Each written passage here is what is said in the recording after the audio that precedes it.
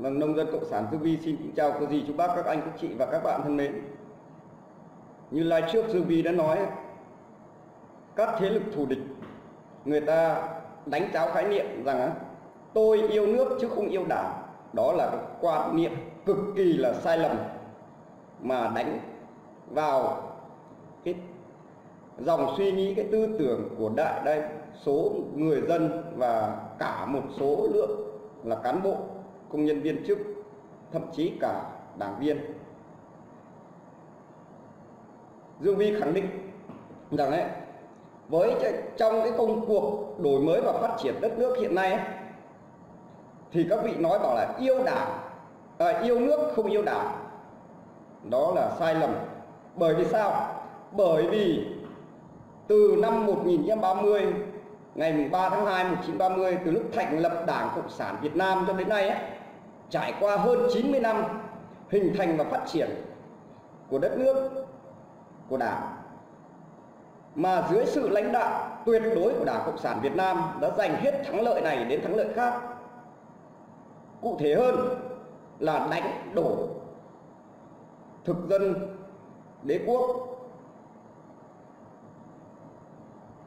năm 1945 vào ngày 2 tháng 9 Chủ tịch Hồ Chí Minh tuyên ngôn độc lập khai sinh ra nước Việt Nam Dân Chủ Cộng Hòa. Lúc đó, đất nước Việt Nam bước sang trang sử mới. Đó là trang sử thời đại Hồ Chí Minh mà mang đậm dấu nét ờ, của Đảng dưới sự lãnh đạo của Đảng. Mà trong cái giai đoạn này ấy, để phát huy cái tinh thần chủ nghĩa yêu nước thì chúng ta cần phải làm những gì? Đó là cái điều mọi người chăn trở và biết đến cái chủ nghĩa yêu nước như thế nào. Sau đây Dương Vi sẽ phân tích một bài viết của tác giả Nguyễn Văn Ái với cái tựa đề là phát huy chủ nghĩa yêu nước trong giai đoạn hiện nay.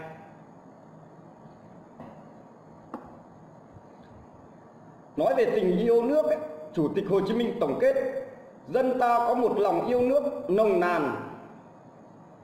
Đó là một cái truyền thống quý báu của ta. Từ xưa đến nay mỗi khi Tổ quốc bị xâm lăng Thì tinh thần ấy lại sôi nổi.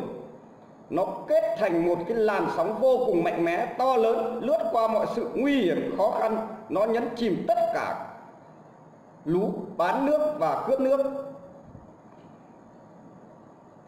Trải qua quá trình phát triển của lịch sử gắn liền với sự nghiệp dựng nước và giữ nước, tư tưởng yêu nước đã phát triển thành chủ nghĩa yêu nước. Chủ nghĩa yêu nước là một phạm trù thuộc ý thức xã hội bao gồm những triết lý, tư tưởng và tình cảm của một dân tộc. Nội dung chính của chủ nghĩa yêu nước là tình yêu và lòng trung thành với Tổ quốc. Chủ nghĩa yêu nước nó không đồng nhất với chủ nghĩa dân tộc. Lịch sử nhân loại đã chứng kiến không ít những cái trường hợp phát triển chênh chệch hướng tinh thần dân tộc. Trong lịch sử, những năm đầu của chính quyền Xô Viết, Lenin đã khẳng định chủ nghĩa yêu nước của con người thà chịu đói 3 năm chứ không trao nước Nga cho bọn nước ngoài. Đó là chủ nghĩa yêu nước chân chính, mà thiếu nó chắc hẳn chúng ta không đứng vững được 3 năm. Thiếu chủ nghĩa yêu nước, đó chúng ta không bảo vệ được Cộng hòa Xô Viết không thủ tiêu được tư hữu. Đó. Trong giai đoạn hiện nay đất nước ta đang bước vào cái thời kỳ mới. Trong bối cảnh tình hình thế giới đang thay đổi nhanh, phức tạp, khó lường, hòa bình, hợp tác và phát triển vẫn là xu thế chính.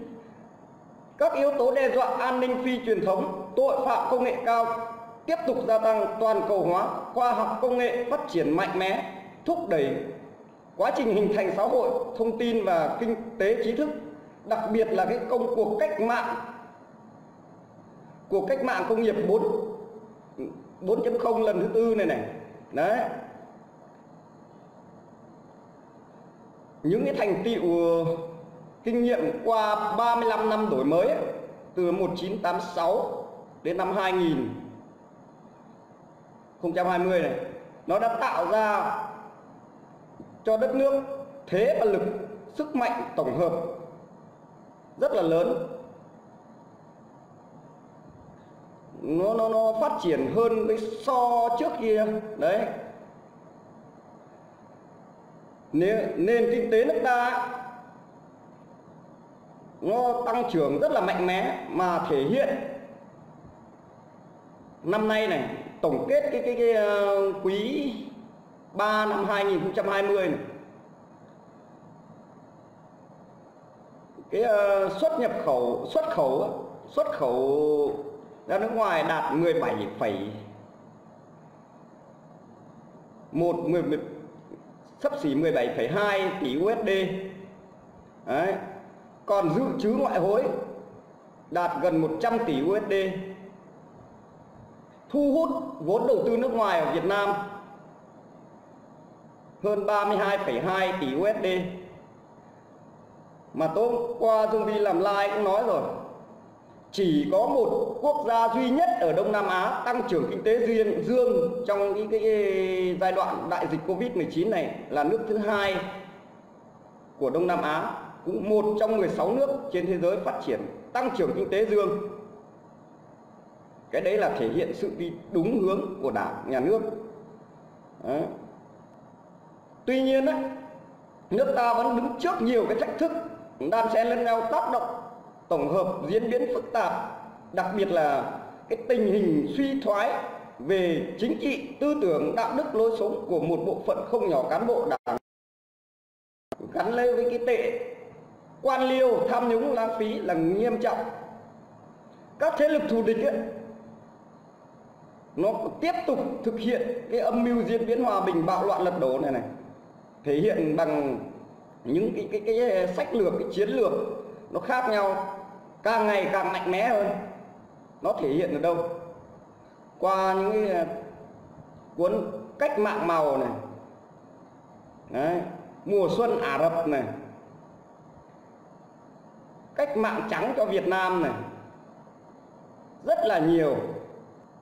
Bọn chúng đã sử dụng cái chiêu bài dân chủ nhân quyền hòng làm thay đổi chế độ chính trị ở nước ta những cái biểu hiện tư tưởng tự diễn biến tự chuyển hóa có nhiều diễn biến phức tạp trong bối cảnh tình hình nêu ở trên ấy, sự nghiệp công nghiệp hóa hiện đại hóa của đất nước theo định hướng xã hội chủ nghĩa đặt ra yêu cầu cao đối với nhân tố con người là cần phải xây dựng con người.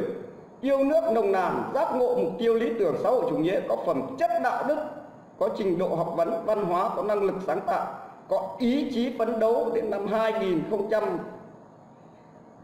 25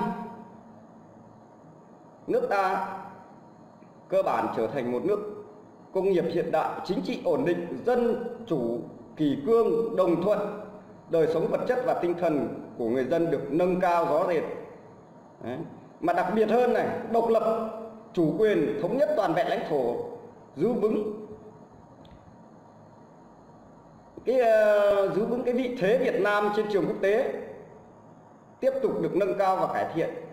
Cái đó là cái mục tiêu của đảng, nhà nước, cũng thể hiện cái lòng yêu nước nồng nàn ở đó. Để phát huy cái chủ nghĩa yêu nước Việt Nam trong cái thời đại Hồ Chí Minh này trong thanh niên này, đặc biệt là cán bộ đảng viên, cần phải đổi mới cái công tác học tập, vận động. Đấy đặc biệt là học đi đôi với hành, cùng với phát huy cái truyền thống dựng nước và giữ nước, lòng yêu quê hương đất nước, đặc biệt trong cái giai đoạn lịch sử từ năm 1930 cho đến nay. Dương Vi nói rồi, nếu mà không có Đảng Cộng sản Việt Nam thì không có đất nước Cộng hòa xã hội chủ nghĩa Việt Nam và nhân dân Việt Nam không được hưởng tự do độc lập, tự do hạnh phúc như ngày hôm nay. Bởi vì sao? Bởi vì trước đấy, Việt Nam chỉ là một nước thuộc địa của thực dân Pháp, mà thực dân Pháp, nó bảo là nó sang khai hóa khai trí cho nhân dân Việt Nam, nhưng mà thực chất nó sang cướp đất nước chúng ta, cướp tài nguyên khoáng sản của chúng ta, bóc lột sức lao động của cha ông chúng ta. Đó là cái bản chất của chủ nghĩa yêu nước của các thế lực thù địch nó tuyên truyền là vậy. À, tôi yêu nước không có đảng thì bọn tôi vẫn yêu nước. Nhưng mà xin thưa với các vị rằng nếu mà không có đảng thì đất nước Việt Nam bây giờ vẫn chìm trong bóng tối mà các nước thuộc địa ở châu Mỹ Latin và nhiều nước trên thế giới vẫn nằm dưới sự cai trị của thực dân Pháp.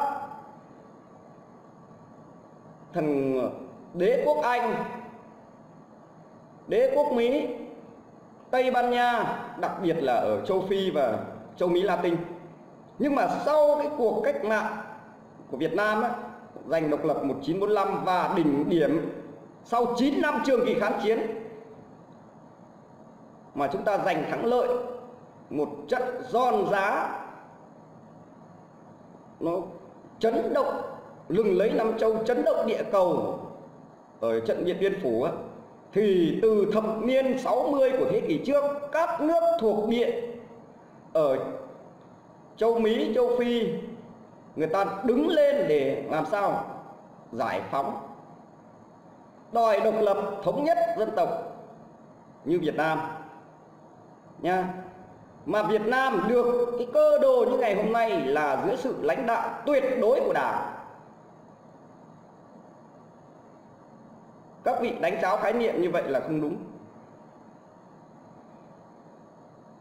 Tôi tin rằng á, nếu mà không có đảng lãnh đạo người dân đứng lên để giành chính quyền giành độc lập và đưa đất nước phát triển đi lên trải qua bao nhiêu thăng trầm như vậy thì liệu các vị nói được từ tôi yêu nước chứ không yêu đảng như ngày hôm nay không? Hả các nhà đấu tranh các thành phần tự diễn biến tự chuyển hóa đặc biệt là những cái cuốn sách cách mạng trắng cho Việt Nam, cách mạng màu cho Việt Nam, nhá. Đó, tác giả là ai thì các vị vào Google, vào YouTube có thì nó sẽ ra. Còn tôi không muốn nhắc đến tên bất kỳ ai ở trên này. Các vị lợi dụng vào cái việc tôi yêu nước chứ không yêu đảng để phán xét lại lịch sử quá trình hình thành dựng nước và giữ nước đặc biệt trong thời đại Hồ Chí Minh này. Ý đồ các vị là gì? Đánh cháo khái niệm thậm chí đánh lận con đen. Để phủ nhận đi vai trò lãnh đạo của đảng, phủ nhận đi cái quá trình chiến đấu, hy sinh của cha ông dựng nước và giữ nước.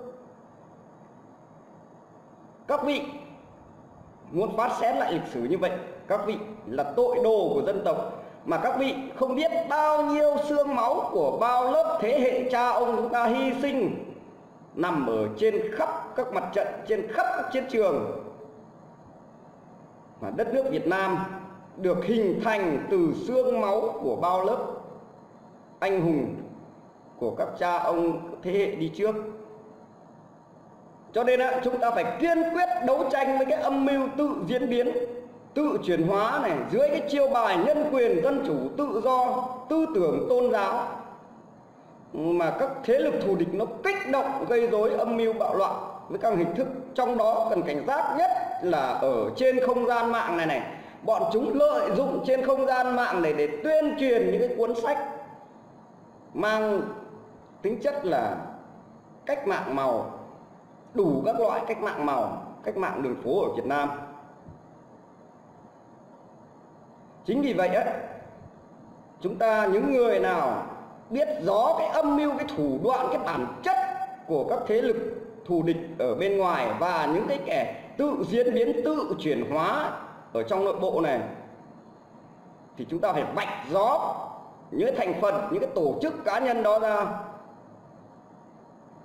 Đồng thời ấy chúng ta phải tăng cường bồi dưỡng cái tinh thần yêu nước, nâng cao sự cảnh giác giác ngộ cho các tầng lớp bạn bè, các tầng lớp nhân dân, đặc biệt là các thế hệ học sinh sinh viên này này. Để cho những người đó, người ta không lầm tưởng về cái chủ nghĩa yêu nước,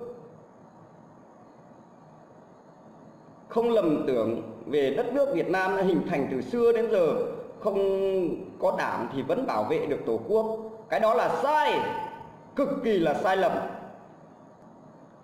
mà cái quan trọng ở đây nữa chúng ta phải thúc đẩy cái, cái ờ, xây dựng cái khối đại đoàn kết toàn dân tộc mà nòng cốt là liên minh giữa giai cấp công nhân với giai cấp nông dân và tầng lớp trí thức dưới sự lãnh đạo của Đảng Cộng sản Việt Nam, đặc biệt là vai trò lãnh đạo của các cấp ủy Đảng. Đấy. Hiện nay ấy, toàn Đảng, toàn dân, toàn quân ta đang đẩy mạnh sự công nghiệp hóa hiện đại hóa, thực hiện hai nhiệm vụ chiến lược xây dựng và bảo vệ Tổ quốc vì mục tiêu dân giàu, nước mạnh, dân chủ, công bằng, văn minh. Phát huy tinh thần đó mỗi chúng ta cùng nhau thực hiện cái tinh thần đại đoàn kết dân tộc để mục tiêu ờ, dân giàu nước mạnh, dân chủ công bằng văn minh này trở thành thực hiện thực hiện thực hóa trên đất nước ta thì cần phải có những cái trách nhiệm cụ thể hơn. Mà đặc biệt đó là lời ăn tiếng nói của chúng ta lúc giao tiếp với với với với, với những người bà con xung quanh lối xóm đặc biệt thể hiện cái tinh thần yêu nước như thế nào cho đúng nghĩa. Như cái cái cái đám Nguyễn Quang A với cái nhóm đầu u nước nhưng mà chúng tôi muốn có một đảng phái đối lập thì đất nước Việt Nam mới giàu mạnh. Cái đó là cái muốn xóa bỏ cái vai trò lãnh đạo của đảng, muốn đưa đất nước trở thành một đất nước đa nguyên chính trị, đa đảng đối lập. Mà bọn chúng không bao giờ từ bỏ cái âm mưu đó.